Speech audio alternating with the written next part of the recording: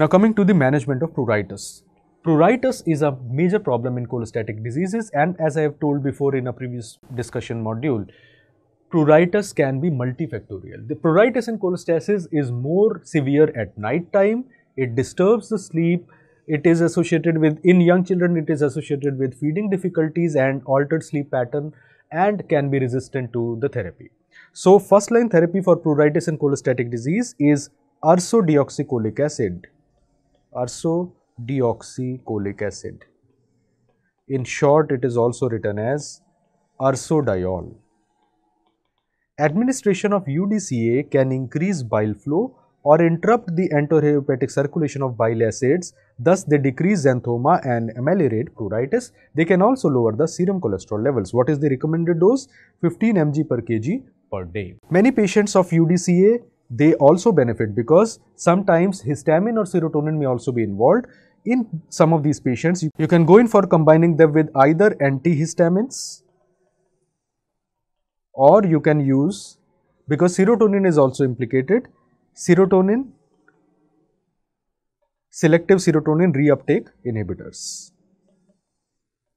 So, selective serotonin reuptake inhibitors can also be used.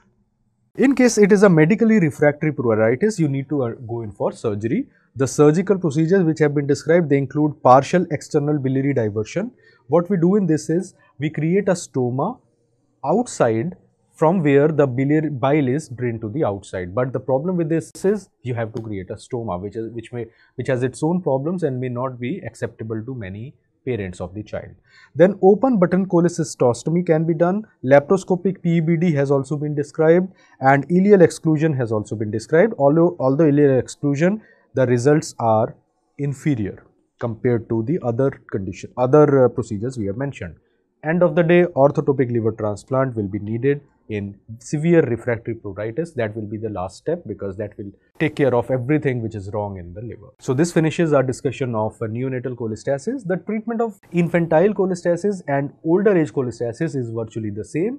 Most of these patients who survive the neonatal period, they tend to develop features of portal hypertension and related problems. Details of portal hypertension and the management of complications like GI bleeding in them have been discussed elsewhere. There is also a module on orthotopic liver transplant which you can go through the, through easily. So this finishes our discussion of the cholestatic syndromes important for super specialty exam.